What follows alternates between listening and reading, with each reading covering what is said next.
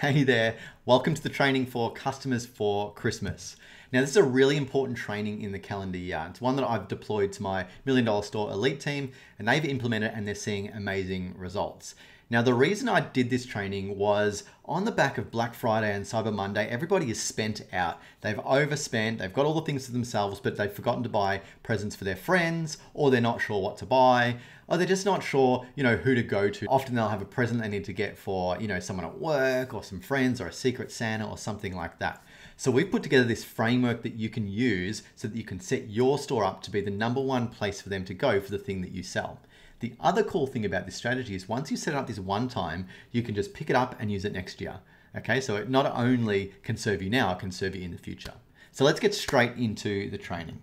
So customers for Christmas is what we all want. Now the reason that we're doing this is we want to make the most of this month. And this is the month where people have their wallets open. They've had it open for Black Friday and Cyber Monday, but now they've got it open because it's a gifting month and they want to buy gifts for people. The month opens, we want to get the squeeze out of the juice in this month, all right? The second thing is we want to make sure that we have the right message at the right time. We're not in a sales period now, we're in a gifting period. So it's not all about discounts and clearing stock and being the best sale that there is there. It's all about making sure that we put the message in front of the right person at the right time. So if I'm buying something for my wife, I want to look for presents for my wife. If I'm buying something for my kids, I want to look for presents for my kids. So I want to make sure that I'm at the right place at the right time.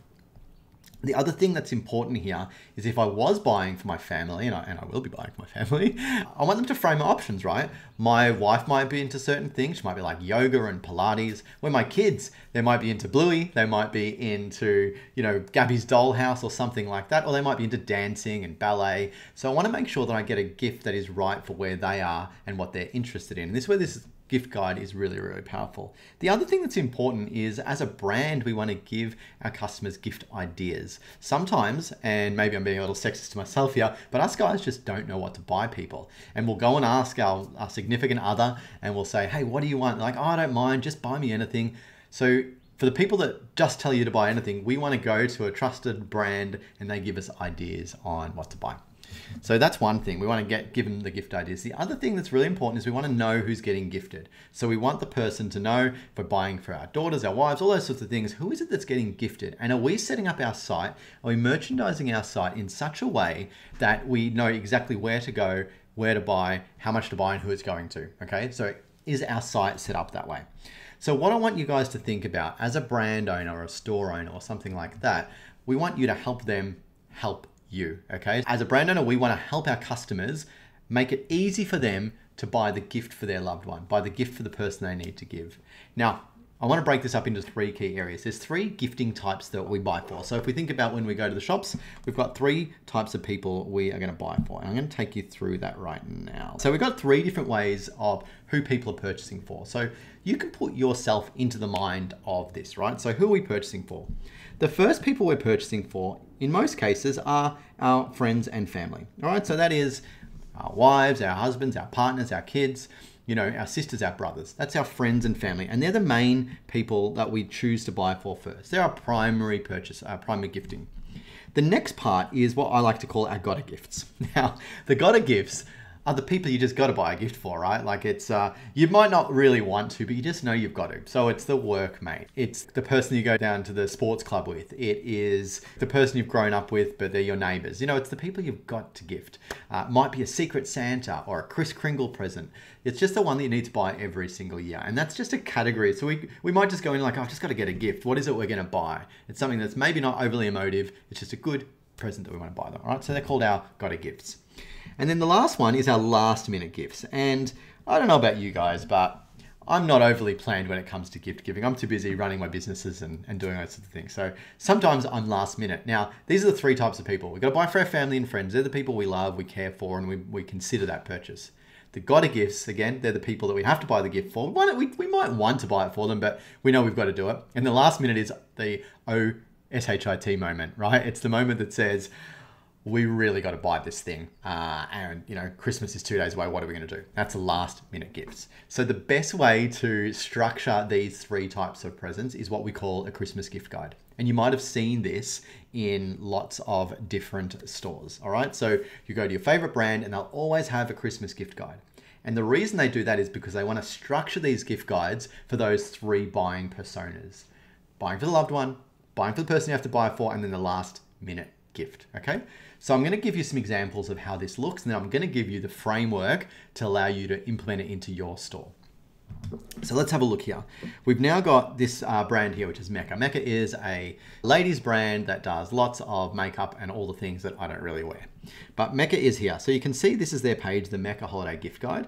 And you can see here, they've got these got a gifts or these are budget based gifts. So often people buy based on budget in this time of year.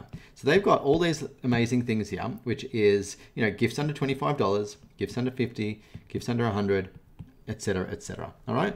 So not only that, they then have shops by category. Okay, so if you're looking for a makeup gift, you've got it here. Something for skincare, you've got it here. Really makes it super easy. Fragrances, hair gifts. So we're seeing that they're chunking the things up here so that it makes it easy for you to make the purchase. They're putting the products that they know you're going to want to make your buying decision easier. Because if you're buying 10 to 15 gifts for people, you just want to make it quick and easy, right? You just want to go in, okay, I've got the thing for them. They like hair, I'm going to get that. I don't like it. I like hair, but I don't have any. Uh, they like makeup. I'm going to get them that. They need skincare. Going to get them that. So see how it really frames it for them. Let's have a look. Let's let's keep digging on this one. We go back down and we can see that we've got um, pampering season. Then they talk about their favorite gifts. So they're really making it easy what other people buy. Let's have a look at another store here. So this is an Australian store, uh, JB Hi-Fi. It's a bit like a Best Buy or something like that. Um, that has mainly hi-fi and home appliances equipment. But these guys are really good. Not only do they have a video of a Christmas gift guide, uh, they then do the same sort of thing. Shop gifts under, so because people shop by budget for Christmas, and then now they're framing that for us. We've got shop kids gift ideas, gaming gift ideas, teen gifts. So you could think if you've got a kid that's into gaming or a partner that's into gaming, you go to the gaming section. If it's for kids or teens, you go to the teen section. See what's happening here? They're just making it easy for us. So they're building a gift guide that allows it, that makes it easier for us to shop. Let's keep going down. Look at this, all these sort of things. Home entertainer gifts. So you know, if you're if you love uh, entertaining at home with cinemas and things like that, uh, we go through. And then some of their best sellers. Uh, and then this is the really cool part, which I'm gonna I'm looking forward to showing you this about. This is the SEO aspect to a gift guide. Now, a gift guide actually lives forever in the background of your site. If we create it now, we set it in the background so that next Christmas we just bring it back to the front, we change the date, and we're good to go. What that means is, from an SEO perspective, your site could actually start to rank for the keywords on that gift guide. So imagine we had best gifts for gamers and you had a gaming site or best gifts for sneakerheads and we had a site that sold sneakers. Best gifts for boxing professionals and we had a site that sold boxing gloves. See what's happening here? If we have a page on our store that has the right keywords in it and it lives there all the time, we're going to rank for it. So when Christmas comes and they type in best gifts, what's going to happen? Our gift guide's going to show up. All right. So this is what this brand is doing here. They're doing amazing SEO. So this is all SEO related keywords. This doesn't necessarily help people to buy because they're not really going down here. It just helps this page to rank. All right. Now let's go one other example and then we'll get straight to the business. So Dymocks, it's a bookstore, okay, uh, here in Australia as well. They have the same sort of thing. Gifts for, amazing, yeah, gifts for her, gifts for him, gifts for teachers, gifts for baby, kids, teens, travelers, food, blah, blah, blah. you know what I mean? They are making it easy. I think you're getting my point. So imagine you could make one of these on your store. How good would that be? So what I've done is I've created a framework that it makes it easy for you to understand. All right, let's go through it. And you can download this PDF as well, so it's down below. So I'm just gonna go through some more of these examples. But this is it here. This is the Christmas gift guide framework. And as you can see, we've got family and friends, we've got the got a gifts, and we've got the last minute gifts. So what this is gonna let you do is unpack what you sell in your store and who it's for. All right, and then it's going to give you the framework so you can build it out in your own gift guide page. All right, so for your family and friends, I want you to think about of the products that you sell, who would they be most suitable for? Are they suitable for the wife, the husband, the partner, someone else? Okay.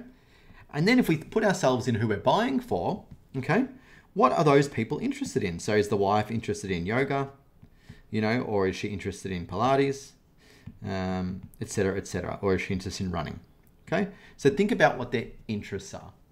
And then we've got to work out what products and collections are suited. All right. So it might be yoga mats, it might be running towel, etc., etc. Sorry about my messy writing. You know what I'm putting down. All right. So once we've got that, we then go through and we fill this out. So we've come up with the things for that we're buying for our loved ones. And you can imagine what we do here. Then we can say gifts for wife, gifts for your wife. You know, what to buy your wife who loves to run, what to buy your husband who loves yoga. All right. So we then can start to unpack it a little bit and we're not trying to be everything to everyone. We're just trying to really nail in who this product is best suited for.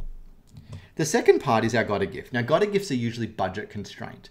And we know that if we're going to buy a gift for someone at work or a Kris Kringle, we're usually limited to the amount we're going to spend. They might say we're going to spend $20, $50, $100, whatever, right? People have a budget. So this is the got a gift budget that we're thinking about. So I need to think about in your world, what is it going to be? What is the, how much are they prepared to spend? All right. What budget categories are we playing towards here? And then why are they actually buying it? Are they buying it for like a Kris Kringle or a Bad Santa, you know, or is it a donation to a charity? Completely different story. Or giving it to a teacher or a coach or something like that. Maybe an e-commerce coach. but yeah, have a think about who they would be buying it for. All right. So when we know that, then we can format our site and say best gifts for Kris Kringle, best gifts for teachers, things like that. Okay. Uh, now, if it's not on here, obviously we've got these little sections here where you can fill your own in if it's a got a gift, you know, best gifts for sisters or something like that, if that's who you think you got a gift to. And then what I want you to do is think about uh, of these people here, what are the best products suited to you know your under 50s, or for teachers, or coaches, or what's a Kris Kringle present, and really start to frame this up here. All right. Now we move on to the last people, and it's the people that's probably me that's buying this. It's the last minuters. So if we look over here on the last minuters, we've got uh, the time frame of when the person needs this. So when do they need it? Within a week, tomorrow, or instantly, right? How urgent is this present? Or is there any other way, right? Is it the day after? Is it the day before home delivered? How soon do these guys need it? So if you know that, what options can you actually give these people, all right? Can they get express shipping, you know, so priority shipping, fast shipping, whatever it is? On demand, we might get an Uber to deliver it to someone. Uh, can they come pick it up? Uh, or we can do it digitally with gift cards. So have a think about what gifts you've got on your store that you can send last minute and we fill that out here. So now that we've got this filled out, we should have a whole list of products in this section here. We should also have our avatars on who we're selling to here, okay? Now that we know that, we can start building out a gift guide. And what I've done for you, because I really like to give you everything, uh, I've given you a little wireframe here. So this is basically the way I want gift guide to look, all right? So we can see here, we've got our family and friends here section, and we can then talk about who we're sending these gifts to. So this might be gifts for wives, gifts for husbands, gifts for kids. Okay, so it's our family and friends. And we've got our got a gift. Now this would be, we don't need to necessarily have the word got a gift there. That might be something like, you know, bad, bad Santa gifts or, you know, Kris Kringle gifts or teacher gifts. But we could break it up into the price points, gifts from, gifts from, etc., etc. Okay, so it all making sense. We got loved ones, got a gifts, and now the last minuters. And this is ideally a gift card. You know, gift cards we know get delivered instantly, which is great. But if you want to pick up in store, or we could do it on demand delivery or express or anything like that, or I just want to advertise it here. All right, team. Uh, and then underneath that, we utilize the information that we've got in the framework and we start building out our little blog here. So the top five gifts for one, whoever your family and friends were. Top five gifts for wives who like yoga. All right. Gifts under $25 for yoga people, whatever it could be. All right. So we, we want to make sure that we talk about the category that you're in because it's going to be really hard to rank for top uh, top 50 gifts under $50 because everyone's trying to do that. It's going to be a lot easier to rank for top five gifts under $50 for yoga. Or a little bit more specific, a little bit more targeted. It also means the people that are searching for it are more commercial. And what that means is they have more intent and more demand to purchase. All right, and then we've got last minute gifts for your category. Last minute gifts for yoga lovers. Now, the way we build this out, team, it's so easy. We basically just move into Customizer and we set up a collection page. And I've given you an example here. So this is a collection and we would create a Christmas gift guide collection. And then in that, we just use these little sections here to actually build it out in the way that we said. So you would create a, uh, a family and friends collection and you would just use that. You would create a got a gift collection and then you would use that little collection tiles. So you can just use the Shopify customizer to build this out. And then all we do is we link to that collection from your homepage. And then you've got a gift guide all set up. That's it. That's that's that's pretty much as simple as it is. So I've got this worksheet down below. You can grab it, and underneath that, it's going to cover everything from filling out your gift guide, understanding who it goes to. It's going to cover the wireframe that you can use, and it's also going to give you sort of the layout of the SEO and how to use the collection pages to do it. Hopefully, you found that useful. Uh, we're using it in our store. It's crushing it. Uh, everyone's loving it. And it's a great way to make sure that people buy from you. They choose you, they pay full price, and they make sure that you are the place to get their Christmas gift from. Love to hear if this video is helpful to you and if this training is helpful to you. Comment down below if you can, wherever you're watching it, um, or would love to chat to you on Facebook. So feel free to join the e-commerce training ground and uh, I'll be there helping everybody out. All right, guys, over and out.